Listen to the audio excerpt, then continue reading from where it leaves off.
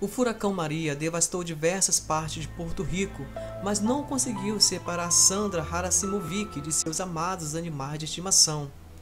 Ela e seu marido Guerre Rosário disseram ter se abrigado no telhado de uma casa por horas para salvar seus sete cachorros de um furacão que reduziu seu bairro a um lamaçal. Sandra, uma polonesa de 43 anos, disse que o casal ficou preso com água até o pescoço depois que o furacão Maria atingiu sua casa na cidade de Iaco, fazendo correr com seus cachorros para o telhado de um vizinho para poder escapar.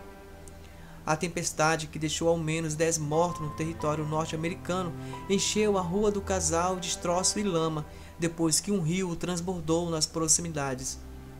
A água entrou na casa dos dois, como se fosse o fim do mundo, disse Sandra, tentando manter os animais por perto durante o furacão.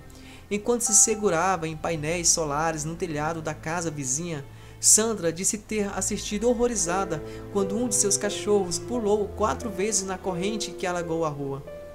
Todas as vezes, Query mergulhava em busca do cachorro para levá-lo de volta à segurança. Eu pensei que fosse perdê-lo.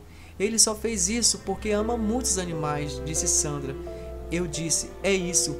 Estou perdendo os animais e agora acho que também estou perdendo o meu marido. E você? O que pensa da atitude desse casal? Será que eles fizeram uma coisa certa? Escreva nos comentários, curta e compartilha, assine nosso canal. Um beijo e até a próxima. Tchau!